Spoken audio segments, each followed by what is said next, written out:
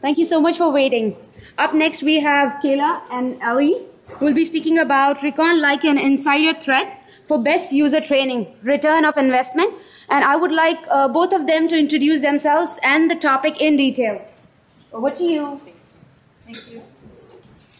Hey guys, it's a good thing we're in a room full of people who work in IT. Uh, so, we wanted to talk to you about today about an exercise that we did to see if we could recon our users, use the topics of social engineering, and change the way that they behaved. Um, a little bit about us first. I'm Allie. I am a user training specialist. I've worked in a bunch of different fields trying to learn why people do what they do, how they think, how they connect and communicate, and then how we can use those things to hopefully change their behavior.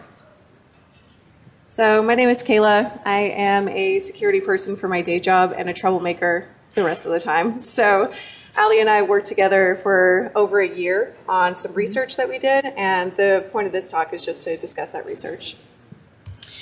So, like she said, we started working together a little over a year ago, and we wanted to take her hard skills and my soft skills and try to approach a security issue from a different perspective. And the first one we were going to try to tackle was the fact that every single phishing campaign that came into our organization was a potential breach. So, how could we address that? How could we help to lock it down? All right, so management had the first idea that they always have, which is spend the money and secure all the things, right? So it's a good idea, and if you do it well, you can get some pretty good numbers. So, in looking at how effective our technology was, we had an email gateway where 14 million emails hit that gateway, 7 million emails were allowed through. We had 229,000 emails that were blocked as known malicious links. We had 3,200 emails that got past the gateway. Our blue team incident response defense team actually pulled back 2,200 of those emails.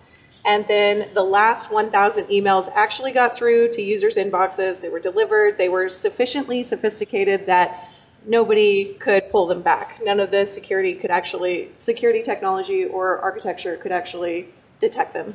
So at that point, our actual stats were 99.98% effective, which uh, is as good as birth control. So I felt pretty good about the technology that I had put in place. But as good as the technology was, of those thousand that got through, 850 of them were clicked. So we could have a 99% effective tech rate, but our users were 85% failure, which I think we can all agree is not a great starting point. Um, so that's what we were trying to tackle. So we were like, okay, let's come up with a better idea. So the better idea was that we should create a feedback loop between user behavior, security analysis, and training material. Our goals were fairly simple. We wanted to take the tactics that are traditionally assumed to be from the bad guys, the evil tactics, the recon, use them hopefully for good, um, and also create kind of a business case, understand whether or not this was valuable and how we could express its value, and alongside that, not be creeps and hopefully keep our jobs. So to do this, we created an insider threat game plan. So we wanted to look at the network and all of its assets as an insider threat would to see what was exploitable. Um, we also wanted to find out, you know, all right, so there's some good data out there. Who has access to it? And how can we observe their behavior for weaknesses to manipulate their behavior for the good of the entity as opposed to the good of the individual, which would have been way more fun. All right, so prerequisite legal stuff. Um, you have to establish the right to monitor if you want to do a program like this. Mm-hmm. So, you know, that login banner that says, we are going to watch everything you do. Uh, your legal department would be very grateful if you put that in place before going forward with this type of program. So we broke it down into phases. Our first phase was just about figuring out where we stood. If we needed to be able to uh, express the value of this down the line, we had to know where we were starting from. And our baseline was pretty rough. We had that 85% failure rate. We only had about 15 emails per month in a group of 6,000 employees uh, reported as potentially bad. And there was basically zero relationship between any of our coworkers and security, aside from an assumption that security is just like the software police you look the other way when they walk down the hall, you do your best not to interact with them, and they won't take things away from you, which is definitely not our aim. Yeah, so on my side, I was like, okay, this is fun. I get to go on a treasure hunt. Uh, being on the inside means that I get access to all kinds of data. So one of the first things I want to ask for is, hey, HR, give me all your data. An attacker is going to have what's in LinkedIn. That's going to be old, depending on whether someone's looking for a job or not. It's not going to be up to date. It's not really going to tell you. A lot of title inflation occurs. You don't really know who actually has access to important data or could perform important functions. It takes quite a bit more recon on the outside. So I took a little shortcut and said, give me your data dump. Um, additionally, application whitelisting data was extremely important to this process. It ended up being important twofold. So you got to find out who was keeping important data where they shouldn't, which was in local data repositories as opposed to the secured ones that they were supposed to store them in, as well as finding out um, who your habitual clickers were, the kind of people who would click OK on a pop up and get a toolbar installed. So it was very easy to identify those who needed to be targeted with training. Now, the next part was a little bit harder. We actually had to find out where all these people work. So great. I know John Doe is a risk to the, to the entire enterprise. Where exactly is John's cubicle or office or courtroom? Wherever he is, I need to find him. And, uh, you know, we had to build a target list. So we had to go to management and say, these are the people who are the most high risk. Based on this treasure hunting I've been able to do, they either have access to data or they have extremely risky behavior that puts them onto this list. And that list changed a great amount the further we got in the process. The more people we talked to, the more we were able to look into the records. We added more and more names and job roles to that list. Um, so as far as completing the baseline, we also needed to understand what they had been trained with and what they had, what they were used to seeing. So we had a fairly traditional training program in place already. It was once a year. It was an hour online. People basically muted it and went on with their regularly scheduled programming. Um, we did see a change from our tools in the clicking rate right after training, but it would spike up to get better and then immediately drop back down. So we still maintained our baseline throughout the year. The training was effective but short lived, and that was another thing that we needed to tackle. All right, so I made some observations about campaigns off of stuff that I was able to pull off of the email gateway. So the have I been pwned data did correlate to campaigns, but not at the time of breach. It's actually cyclical. So anybody's who anybody whose information was in there they were going to be involved in multiple campaigns, and overall, they were going to be a higher risk than somebody who had never had data that showed up in sources like Have I Been Pwned? And additionally, um, the emails going through were so much more sophisticated than the tests that were going out. So there's a lot of false baselining that's out there that sometimes people do to make their programs look good.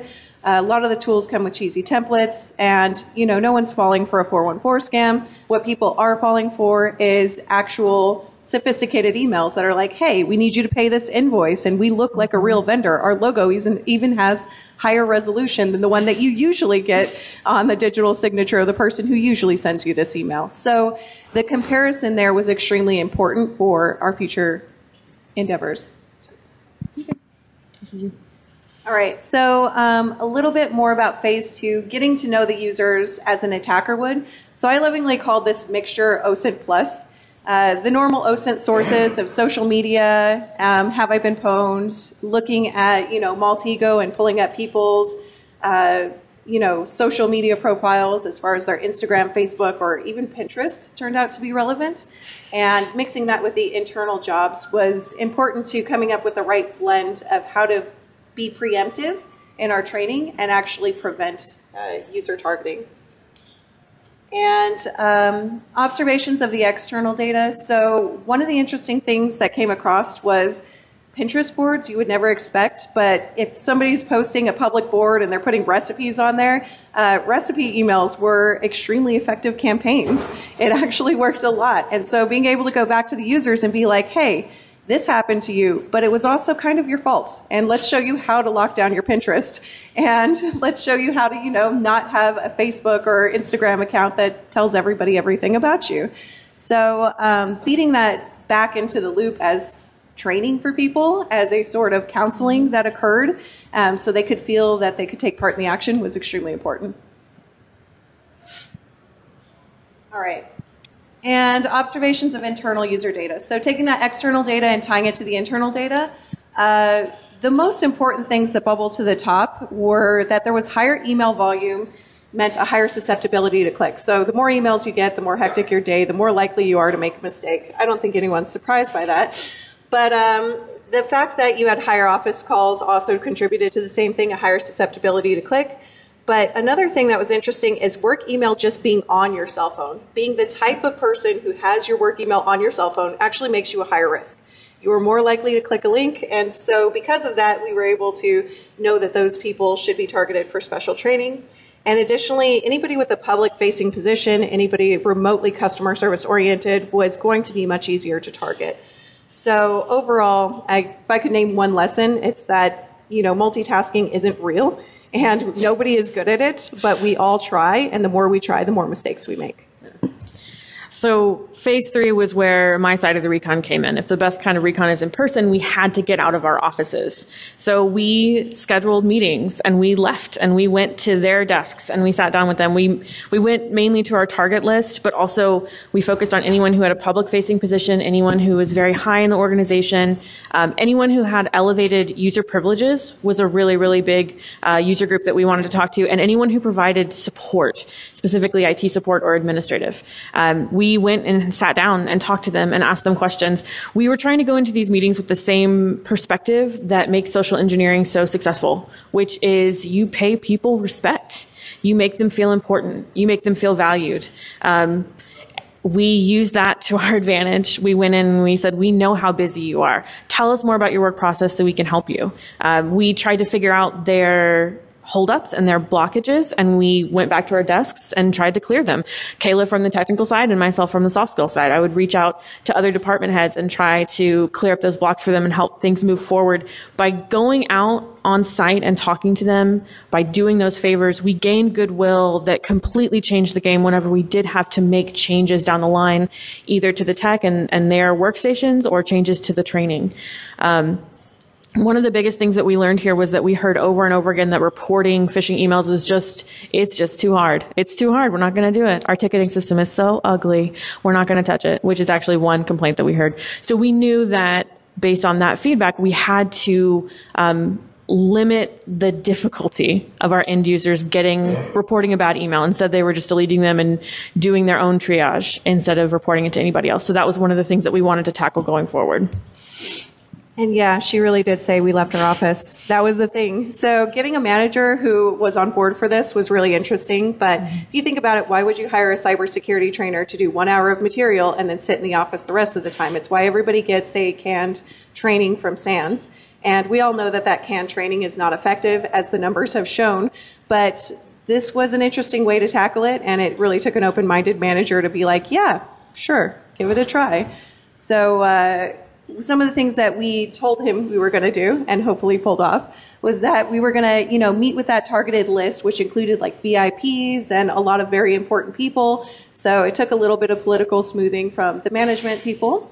And uh, we, you know, we discussed their duties and their issues with technology. So we wanted to make sure that we could present a narrative to them that actually fit their workday and the way that they looked at the world. And so that actually makes a lot more um, changes to your training than you would think. And it's definitely not something you're going to get from a SANS training. And one of the real benefits of going out on site and talking to them was being able to see what was happening in their office in the moment. Um, were they checking Facebook while we were sitting there and talking? Were they checking their work email on their cell phone? Did they not have a PIN or biometric lock on their personal cell phone that held work email? That one was super important. Um, do they have their password taped to their computer? That's a bad sign. Uh, so all of those things were super valuable uh, pieces of feedback that we were able to get just because we happened to be in the room. So the next phase was about redesigning. We know our users a little bit more now. We know our threats a little bit more now. Uh, we have all this recon in our back pocket. What do we do with it?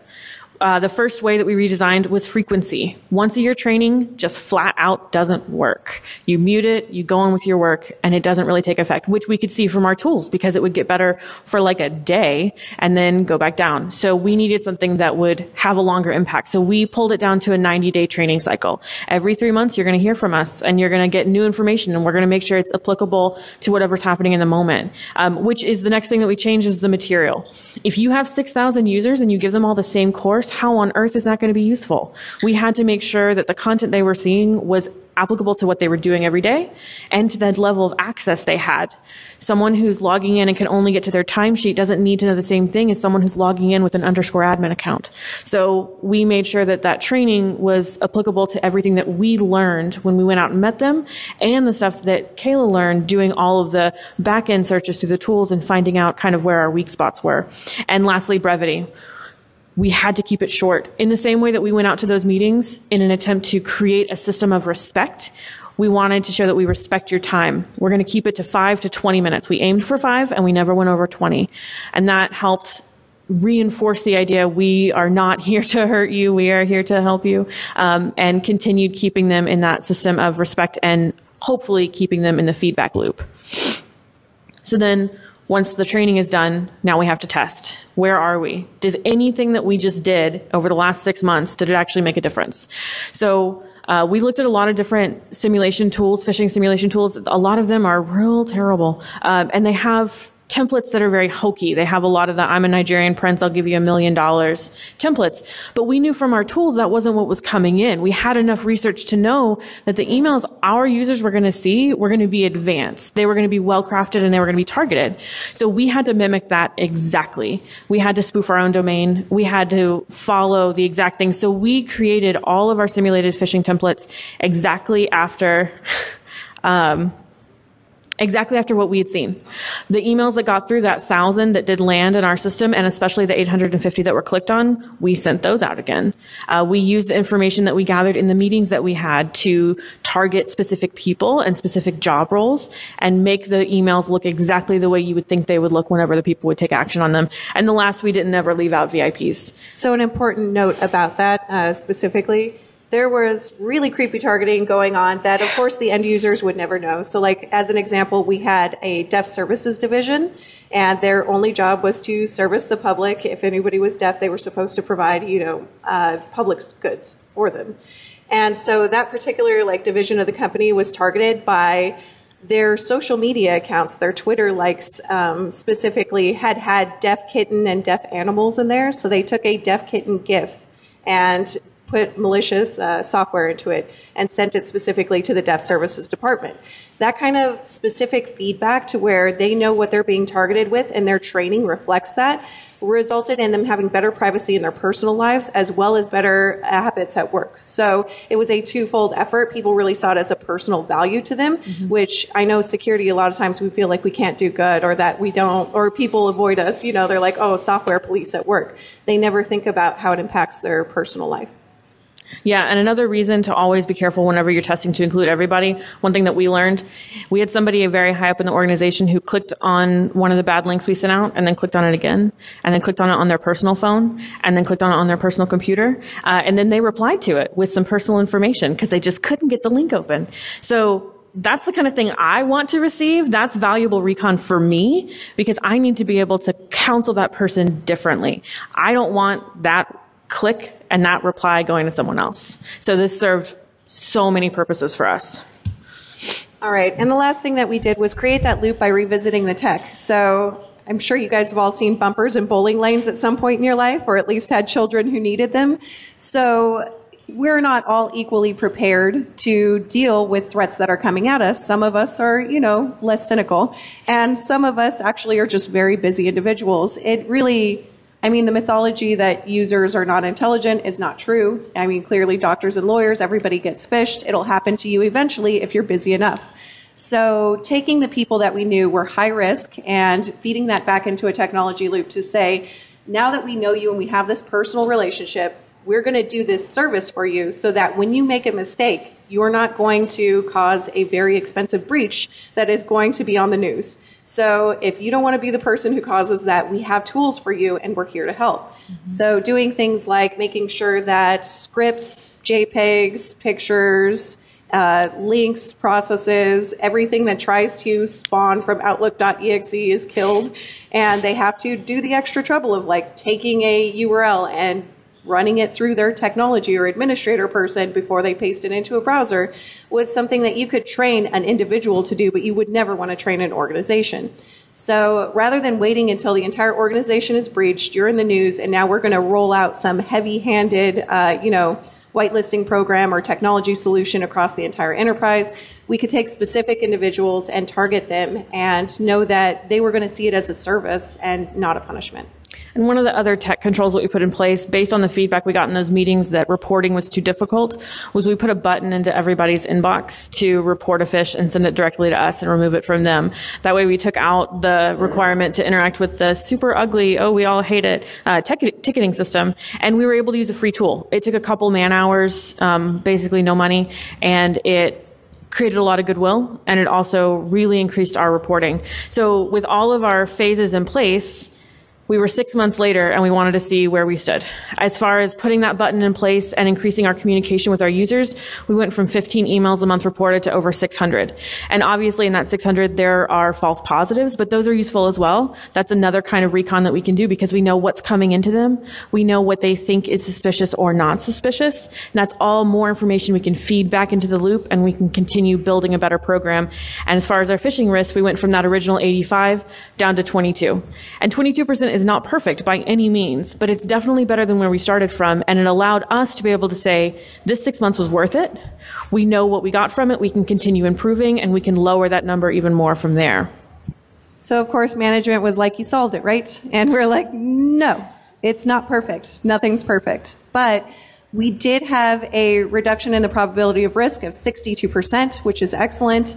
And there was some nice math out there to quantify that, mm-hmm. thanks to the Verizon breach report we were able to pull down some information about the cost of what we were doing and put that into a formula created by CIS. And so I actually, the enterprise we were working for thought their risk was $7 million.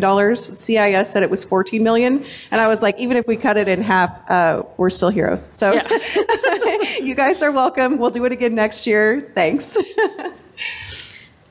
so that's everything that we have. Thank y'all so much.